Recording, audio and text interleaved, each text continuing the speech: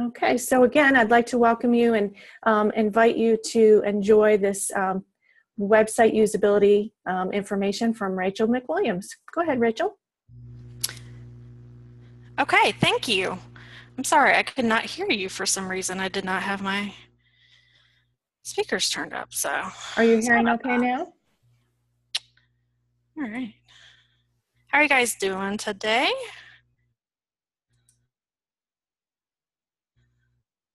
Such nice weather out here that we're having. Um, it's really great. So uh, thank you guys so much for, for coming and for listening to me speak. Um, I'm going to talk uh, about um, website usability testing and um, some testing that we did here at North Carolina Wesleyan about two years ago almost. Um, and um, how it was pretty painless, but there's still some some kinks to it that we need to work out. But um, I will go ahead and get started, and um, we'll have questions at the end and all that. So, all right, let me get here. Beautiful. Okay, so um, I have been here at Wesleyan um, since 2012, and before um, I was here in 2008, uh, they did a website usability test um, that was performed by an outside consultant. And this was primarily performed because um, they were um, had been funded uh, a grant had been funded by LSTA to develop a technology plan. So they decided to, uh, as part of that, have an outside consultant come in and look at the website. Uh, around 2010, the college changed to a new website design. Um, I came in 2012, like I said. And then in 2015, uh, the library applied and was accepted for another LSTA grant um, where we have, developed a five year plan for the library. And as part of uh, working on that plan, um, I was asked by the director to uh, conduct another usability, website usability study of the library's websites. Um, part of my responsibility is to maintain and enhance the library websites. Um, and we are really lucky in that we have a lot of control over our website. So um, we can make at least small changes as needed. If it was a big overhaul change, we have to work with a webmaster, but she was really great and uh, it really uh, went very smoothly. So that was uh, a really easy step. Um, for usability testing, uh, there are a lot of different types of testing. Um, in 2008, they used what they call the treasure hunt usability test. What they do is just the, uh, have a bunch of questions and they ask you to find things on the website, whether it be a book or um, an article or whatever. So uh, we talked about it as a staff and we decided that that would be um, the best type of uh, test for us to do. So um, we, I sort of uh, looked at what they did in 2008 and enhanced it more. Of course, it was seven years later, so technology um, has changed a whole lot in those seven years. Um, and being new to the whole idea of website usability, um, as a librarian, of course, I did some research um, and used uh, the report that was done in 2008 as sort of a guide, a basic guide. Um, there are a lot of other types of um, usability testing uh, some of them are listed there. There's the longitudinal method. I have a feeling that's a, a big, long process. Um, the remote asynchronous is for um, off-campus access. Um, heat mapping sounds very interesting to me. It's where you sort of see where people click on certain parts of your website.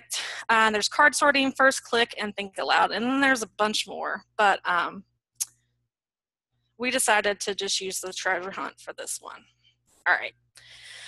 So recruiting participant participants, I'm sorry, one of the really toughest parts of the process was recruiting students. And we just particularly looked at students. Um, we have uh, an interesting campus dynamic here where we have traditional 18 to 22 year old students, but we also have a large adult population and they call it Aspire here. Um, so we wanted to get a range of the traditional students and the adult students. Um, to get people to, especially students, to participate um, in any library activity is really hard. Um, one of the things that we did not do that uh, I would probably do differently if we do this again, uh, we did not offer any kind of incentive. We just kind of asked them nicely, would you please do this? It's not going to take a long, um, a lot of your time. Um, and for the most part, students were, you know, put off. So um, not offering incentive probably limited us a lot. Um, we did, uh, however, end up with seven students that uh, were participating in the testing. We had three traditional students, two Aspire. One was a library work study student who's also uh, a traditional student. And unfortunately, as I was setting up times to uh, do the testing, one of the students didn't, never showed up and never got back to me. So technically we ended up with six participants, um, which was good and not good, but um, I'll get to that in a minute. So,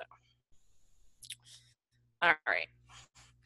Um, as far as the questions go, um, we uh, did use, we looked at the questions from 2008 but we also updated a lot of them because we had special things uh, that we had created, including uh, online video tutorials.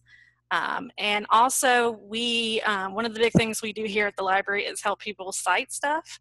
So we had wanted to make sure they knew how to get to our citation information. Uh, that was really important. Um, the questions really dealt with just getting around the library website. I just wanted to know how they got around the website and uh, especially about the usability of other parts of the website like the catalog and our LibGuide pages. Um, the catalog uh, you know, is, is an entity in itself. The LibGuide pages are an entity in itself, but they link off of the website. So I want to make sure that students especially could get to the LibGuide pages. That's where uh, a lot of our database and other resources are housed. So I want to make sure they could get there as well. We did also ask some opinion questions, and I'll get to those, um, the questions specifically in a little bit. Okay. So once I sat down with each student and we sat down um, together, we were in a room with a computer, um, and it was just the two of us. So um, I just started off by asking them uh, some demographic questions, how long they had been in the school at NCWC, because um, although we do have the classes of freshman, sophomore, junior, senior, sometimes students, um, as a lot of us probably know, um, either are could be like second semester sophomores or they've been at Wesleyan for three years but they're only a sophomore or whatever. So I wanted to know uh, how long they had been at the school. And then uh, what their previous experience was with the website and the catalog, if they had even looked at it before, if they had done any searching, if um, they were familiar with it. Um, I also wanted to observe how they accessed the library's websites. Um, there are quite a few different ways that you can access the library's website, especially at that time. Uh, there was at least three or four different places you could access it from, and most of them um, accessed it from where I would usually think that they would. So, um, in total, I had 11 questions that were asked as part of the testing. Um, what I did is collected the data. So I would ask the question and just let them go to it and then observe what they did.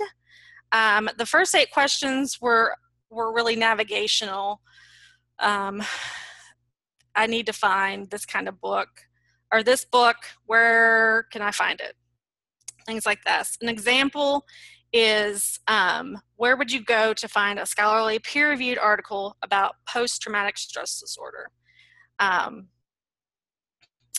that was one of the examples of the questions. And if you would like to know the questions we asked, um, my contact information will be on the last slide here. Um, and you can uh, contact me and I'll send you that information. And the slides will be available after the conference as well. So, um, the interesting thing about the testing is um, if they did get sort of off track or didn't know where something was, I really was excited to use it as a teaching moment, sort of. Um, after they, you know, I didn't want them to struggle a whole lot and just sit there and be like, okay, I can't find it, you know. I would usually try and show them where the particular things were. And I think, and I hope that was helpful to them. That was really helpful to me to see um, where they struggled and where other students might struggle. So that was really one of the helpful things about just actually sitting there one on one with the student. Um, and I hope they were able to learn some stuff. I certainly was able to learn quite a bit of stuff. All right. Um, a few observations about um, the testing itself. There were a few questions that stumped um, everybody and all six participants. Um, one of the questions uh, talks about trying to find a particular magazine title, and none of them were able to find it. We have um, a product that's called Journal Finder, um, and I think probably part of it was confusing.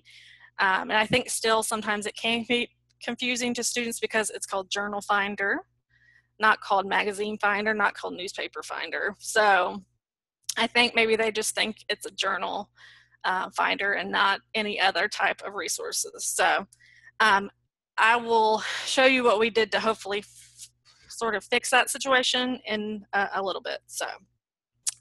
Uh, the other question dealt with um, trying to um, find information on our website about, uh, we check out a lot of popular DVDs, so I wanted to see if they could find information about um, how many DVDs you can check out at a time and for how long. And we have that, do have that information on our website, did at that time as well.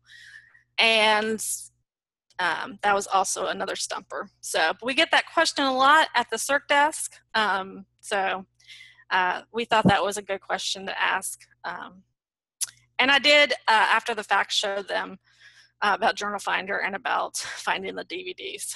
Um, another observation I made, and um, you may um, understand this one as well.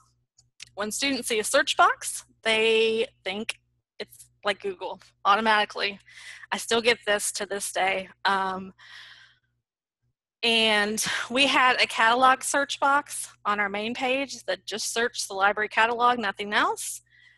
And for uh, at least one of the people, um, they just entered stuff in the search box practically every time. Um, and uh, I'll talk a little bit about um, some um, about that in a minute as well. So, but that was interesting to me. Um, we keep, like I said, a lot of our LibGuide information, or I'm sorry, a lot of our resource information on LibGuides.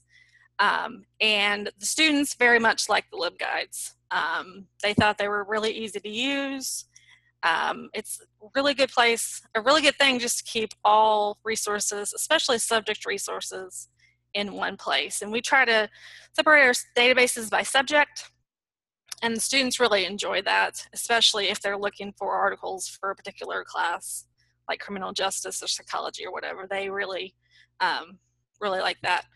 And the last thing that I observed is they really do appreciate our help. I had uh, at least two or three of them say that uh, time and time again. They really appreciate, um, we have a reference desk here and we get questions. We get quite a few questions actually still. And they really appreciate our help. And that, to me, as a librarian, was awesome. um, and it made me really happy to know that um, we sometimes, even though we may not feel like it, students really do appreciate us. Um, so that was a great observation for me. Um, some interesting comments that I got and these are um, direct quotes from what I wrote down. So one of them says, if I cannot find information in a database, I will usually go to Google. It is sometimes easier to find information that way, and that made me very sad. um, I, I understand I use Google myself to find things. Um, but uh, usually when I sit with a student or I teach a class, um, I really tell students that um, Google is easy, but the stuff that you're finding in Google, uh, you just never know. The stuff that you use at the library um, is always credible and always um, good information. Um, and that's what your professors want. So um, that's it was important, definitely. Um, the second comment was about the search box. Like I said, uh, one of the participants thought the search box was for everything. Uh, we do not, at that time, we didn't have a discovery service. We still don't have a discovery service. We're kind of in the process of looking. And um, he just commented that, you know, it would be easier to have one search box for all the library resources. I don't know how much of you, how many of y'all get that, but um, we are in the process of looking at discovery services. So hopefully um, the whole Google thing maybe with will be helped more with the discovery service, but we'll see. The last one was um, really made me smile too. Um, the navigation is useful and so is the website. I can quickly find information and I appreciate the help of the library staff with my questions. Library has the resources that I need for my schoolwork. I mean, that is pretty much why we do what we do. So that one really made me happy. But um, a lot of what they commented about um, was really useful to us and did help us to make um, some changes to the library's website. All right. Mm. Okay, sorry. There we go. Okay, so I'm going to talk just briefly about some of the changes that we made. Um, this was the library's website when we did the testing. Um, it has changed dramatically since then. It looks completely different now, but um, this is the way it looked. Um, it really um, the testing, like I said, kind of opened our eyes to some areas that were problems, um, especially on this very main first page. Um, so as part of the testing, we um, made some changes. First change we made was to take that box for library hours and remove it. We shifted the tabbed box to the left and we moved the NC Live uh, widget to the right side of that tabbed box. And the next slide, I'll show you what uh, looks like, look like after that. If I can get my cursor, here There you go. So it sort of um, made the page a little bit more compact. Um, they didn't have to scroll. There was a little bit of scrolling involved getting to the NC Knows uh, widget, which is our, um, our chat Um, some other changes were made also to the tabbed portion there in the middle. Um, we did um, kind of compact that as well. We had had a link there for ebooks. Uh, we took the link off. Um, and we darkened the tabs a little bit more because um, beforehand they were sort of a little bit lighter and people couldn't actually read. Um, some people couldn't read the words in each tab. Um, for the articles tab, it used to say articles plus. We changed that and just made it articles. Um,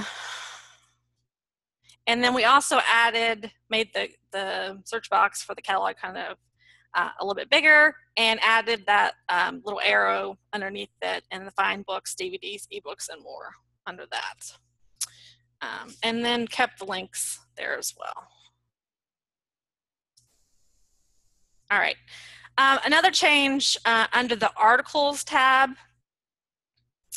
um, we uh, took a lot of that information out um, under online databases and moved just moved it up to just have the electronic resource by subject drop down menu there. Um, Journal Finder was the thing that um, students were confused by. So instead of calling it Journal Finder, we decided to, to change the name to Journals A to Z and then have that text underneath it that said you can find specific journals, magazines, and newspapers by title. Um, just because we have that there, though, it still doesn't mean that um, that the students uh, understand that. But um, I think it did help actually pretty well. So, all right. So, um, some lessons that we learned and some ideas for future testing. So, um, probably will do some testing hopefully in the fall of this year. Um, things are kind of crazy this semester. We're looking for uh, a new library director and uh, we have some new staff and so um, we haven't really had time to sit down and do that this semester so I'm hoping in the fall we'll be able to do it. Um, I think if we offer at least some kind of incentive we'll get more participants. Um, I would personally like to uh, have at least probably 10 or 11, maybe 15 participants. Um, we don't need to get like a huge amount, but um, I think uh, if we offer some kind of incentive, um, food is always good. Um, maybe a little $5 gift card, something like that. Um, if we have a lot of participants, though, probably just some food and drink, and usually uh, students are are uh, are pretty excited for free food. So um, and um, one of the things I really learned too is the library is very important because of off-campus sites and online students. We uh, at Wesleyan have about nine, eight or nine off-campus sites. Um, and so um, as I put down at the bottom of the slide, uh, one of the things I would like to do if we do testing again, hopefully in the fall, is reach out to those off-campus sites. Um, we have off-campus sites all over Eastern North Carolina. Um, so I think if we could get at least one or two students off campus, um, we would probably use maybe a different kind of method of testing for them. Um, that's also a possibility. Although I, I did like the treasure hunt, I thought it was um, very useful. Another thing um, I think we should do probably is reach out to more faculty and staff. Faculty um, are sometimes the student's first line to the library um, before we even get there to their class. So um, if we can reach out to more faculty and staff, maybe we could get a couple of them to uh, do some testing and uh, I'm sure they would have great ideas. Usually they have pretty good ideas. The other thing um, that I didn't deal with before was the whole um, accessibility um, of our website and LibGuides. Uh, I know there are ways of looking at your accessibility. Um, we do have at least one student I know on campus this semester who is vision impaired. Um, and I don't know how much he looks at the website, but I just want to make sure that our website is completely 100% accessible to everybody, all students at all sites. Um, and if it's not, then we definitely need to work on that. And also the process as a whole has really broadened um, my knowledge about websites and the library's web presence and how really important it is. Um, and my interest um, has really been peaked as well. So um, unfortunately, uh, I have a lot of other job duties besides um, the website to do collection development and handle all the electronic resources. So sometimes this gets put this gets pushed to the side, but um, I would really like to um, do more as far as the website goes, and hopefully we'll get to some of this stuff, uh, like I said, in the fall. All right, moving forward, um, since um, we did the testing in 2015, NCWC now has a brand new college website. It just went live in October of last year. Um, it is still a work in progress. Um, it didn't go super smoothly. Um, but we have, um, like I said, we have a lot of access to um, fixing things on our website. Um, and I think that's really helpful, been helpful for us. Um, one of the other things that I would be interested about um, right now, a lot of our um, pages off of our main page are LibGuides. Um, and I don't know how um, students look at that, if they pay any attention, if it, because it looks different than the main page, if that plays any kind of, um, makes any kind of difference. Um, maybe it's just me, I don't know. But um, I would be interested to see what, if we do, if we do testing in the fall, to see what students um, and faculty and staff and off-campus students um, think about um, the LibGuides as an actual web page and not just uh, a page for resources and things like that. So, okay. Um, just a few tips. Um, as my title suggests, um, website usability testing can be very painless. Um, I was actually um, sort of dreading doing this process um, because I thought it was going to take a lot of time and effort, and it did take a little bit of time and a little bit of effort. But um, really, um, like I said there, it's it was really enjoyable for me. Um, it depends on you, I guess, if you enjoy websites, if you enjoy technology, if you enjoy getting to know the students. Um, if you don't, it might be uh, a horrible process, but I really enjoyed it. Um, we have a couple new staff um, that have come in since I did the testing before, and I have a feeling that they would also um, really like to be involved as well. So I'm hoping we can do that. Um, and I really think even a small test usability study like we did here can really help improve some part of your library's web presence. Um, we learned a lot about, I mean, I learned a lot about um, what students think, thought about the main website, the catalog, things like that. A lot of what I shared here. Um, and it was just really fascinating to me. So uh, I think any little thing that you can do to improve um, what you do every day can be um, really helpful. And the last thing there is getting buy-in from your library staff and your webmaster or your IT staff or whatever is really important. Um, like I said, we are really lucky in that we have a lot of control over our website. We fought for that very hard um, because um, libraries and library information is constantly changing and uh, because our webmaster has to deal with the whole college, um, we wanted to be able to change things with, oh, I went too fast, sorry. When they're needed, and um, it's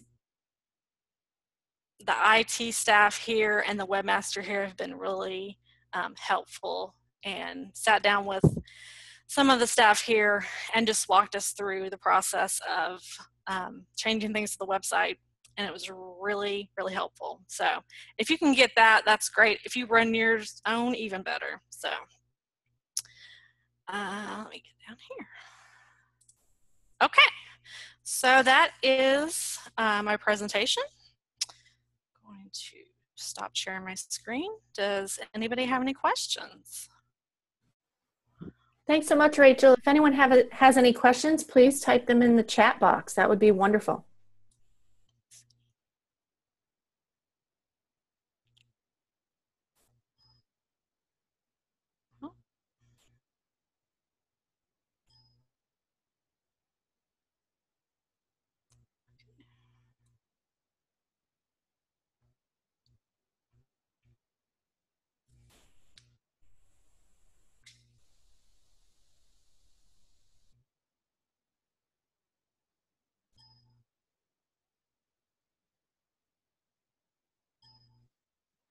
Well, while you are thinking about your questions to ask Rachel, I'm going to post a link to our evaluation Um, this is an evaluation of the entire virtual conference uh, for today, and it will also have an opportunity to provide Rachel feedback on her um, presentation. So if you're joining us for more sessions later today, if you would fill this out at the end of the day and give us some feedback, that would be great.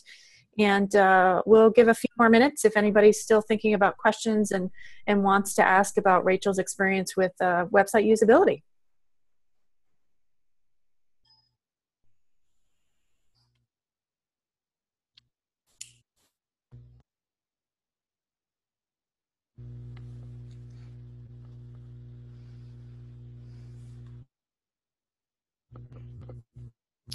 Well, if nobody else has any questions, I just want to thank you guys very much. Um, like I said, uh, my contact information is on the slides. I will send them to um, the conference um, committee and uh, get them uh, up on the website.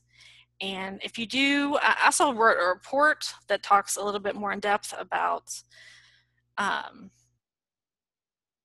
what um, I guess about the questions and um, it's not an article, but it's just a report about what um, what I observed and things like that. Um, I can send that to you as well. So. Okay, wonderful. Thanks so much, Rachel. We really appreciate it. Thank and you. Uh, we look forward to seeing everyone hopefully at a one o'clock session after you've had a nice break for lunch and uh, hope to see you later. Thanks, Rachel. Thank you.